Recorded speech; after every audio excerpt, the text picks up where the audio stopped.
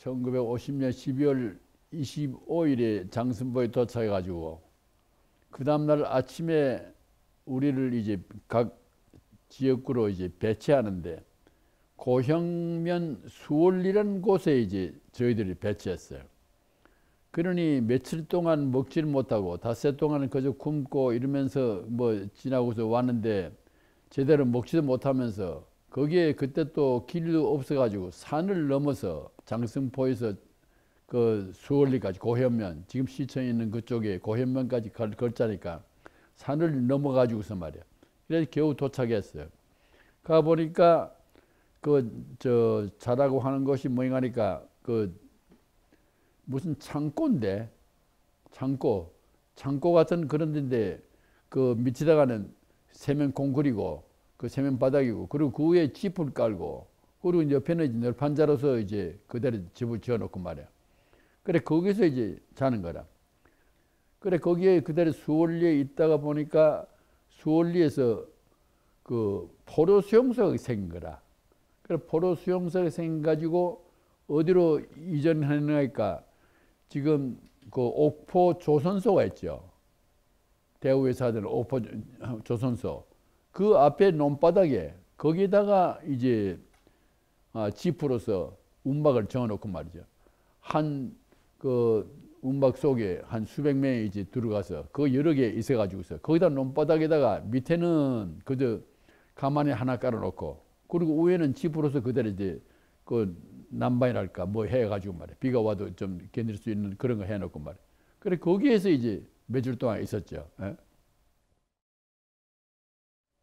집에서 나를 적에 아버지, 삼촌, 나 셋이 떠나는데 사람들이 너무나 많이 피난 나와서 청진에서 오는 사람, 한경북도에서 오는 사람도 있고 한경남도에서 오는 사람 있고 눈은 가득한데 거기에 이제 그대로 모두 사람들이 너무나 이제 어, 그러다 보니 거기서 서로 모두 헤어졌어요. 그러다 보니 아버지는 아버지대로, 어? 삼촌은 삼촌대로, 난 나대로 말이죠. 예? 그러니까 아버지는 그 고향에서 북청에서 그대로 통통배 조그만 배를 타가지고서 그거를 타가지고서 포항까지 온 거라. 그래 포항에 와서 그 대구에 계시는 그 저 대법관으로 계시던 손동욱 대법관이 후에 됐는데 그 집에 가서 모두 피난민이 한 50명이 그 집에 가서 어, 수용하고 있었지요. 예? 그래 저도 그 소식을 듣고서 그 3월 51년 3월 10일에 한 100일 만에 아버지를 다시 찾아가지고서 말이야. 그래가지고 집에 거기 대구 가서 그 거기 같이 살다가 다시 이제 또 부산에 거기서 일할 것도 없고 그래 부산 내려와서 부산에 와서 하꼬방 예 짓고 하꼬방이라는 것이 레이션 뭐저 박스 가지고서 그 집을 두 사람이 겨우 잘 수 있는 그런 집을 지어 가지고서 그래 거기서 생활하게 됐죠. 부산에 이제 그 식품이 레이션 같은 것들이 그 배로 들어오게 돼요. 그럼 그게 미군 부대가 그 아주 상당히 그 많아가지고서 그 물품 에다 수입하는데 거기에 이제 그 레이바 노동자로서 거기서 일하거나 한 번은 거기에 가보니까 그 사람을 모집해요.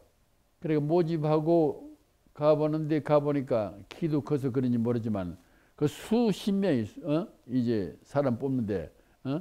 뭐 하는 건지 모르고 그 부대에 이제 내가 뽑혔어요.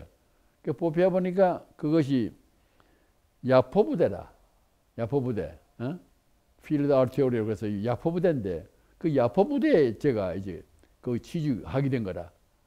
그래 그, 그 배가 그 다음 날인가 이제 뭐 부산에서 배를 다가 그 대포를 싣고서는 그 속초에 와서 속초에 상륙해 가지고 그 양구, 인제, 고량포 이런 데를 이제 이제 몇 개월 동안씩 이제 있어서 이북에다가 대포를 쏘고 말이죠. 이렇게 하면서 이제 올라오게 됐죠. 예. 그 열흘 동안 휴가를 마쳤는데 길가에서 고등학교 동기 동창을 만났어. 북청농업학교. 그너 어디 있냐 물어봤더니 아 자기는 대학교 3학년이라고 그래. 어? 나는 그 지금 이제 그 당시 그 친구가 나보다 공부를 못했는데 어떻게 대학교 3학년이고 나는 미군 부대 레이브하고 말이야. 어? 노무자고 말이야. 어? 영 화가 나서 말이야. 견딜 수 있어야죠. 밤에 아버지가 올 때까지 기다리고 있다가 그러다 술 먹고서는 올라가서는 아버지 보고서 하소연하면서 말이야. 어? 날 학교 보내달라고. 어? 날 학교 보내달라고 말이야. 그래서 막 때렸었지. 어? 53년 2월 말일에 아버지가 그 고량포에 편지가 왔어요. 미군 부대.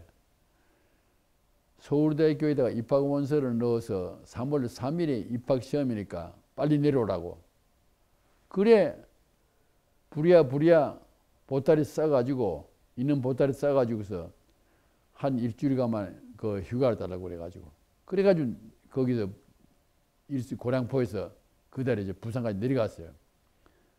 서울대학교 입학 원서를 넣었다 그러는데 와 보니까 입학 원서를 받지 않는 거라. 어? 이북의 졸업장은 제가 이북에서 나올 적에 갖고 나온 것이 졸업장 하나뿐인데 그 졸업장 그것이 그거 가지고서 이북의 졸업장 인정 못 하겠다는 거야. 어? 이래가지고 거기에 그 저 2차 있었는데 거기에 이번 제가 가서 입학 원서를 넣었어요. 넣었더니 역시 마찬가지로 그 인정해 주질 않아. 어? 교무과장에게 입학 원서를 접수시키려고 하니 받질 않아요. 그때 그 조교가 있었는데 그 조교가 옆에서 이제 일하고 있었는데 조교가 그 졸업장을 보더니 아 그 성적도 뭐 우수하고 뭐 하니까 아 성적도 이렇게 좋은데 과장님 과장님 이거 입학원서 받읍시다 받읍시다 말이죠. 그래가지고 사정 사정해서 그 선생 조교 때문에 제가 입학원서를 넣게 된 거예요. 그 아주 그런데 그분이 뭐냐니까 신의주 있었는데 이북에 신의주에서 47년 동안 그때 이제 월남했어. 그러니까 이북의 사정을 이북의 졸업장이든 뭐 이런 걸 알고 있는 거라. 어? 그래서 그 교무과장에게 사정 이해를 해가지고 제가 입학하게 된 거죠. 수의학과를 들어가려고 하니까 아까 말한 대로 수의학과가 서울대학교에서만 하나 있었는데 그 서울대학교 입학 원서를 넣으니 들어갈 수도 어, 지원서도 받지도 못하니까 못 들어가고 그러다 보니 그거하고 비슷한 학과가 약학대학이 돼서 그래 약학대학이 그때 처음으로 그 부산에서 여기 그때 당시에는 이제 서울에 있지 않고 모두가 그 부산에 이제 모두 피난 나가서 거기에 본교가 있게 되는데 거기에서 이제 그 약학대학에 그 비슷한 이제 학과가 있는 약학대학을 가게 됐죠. 예.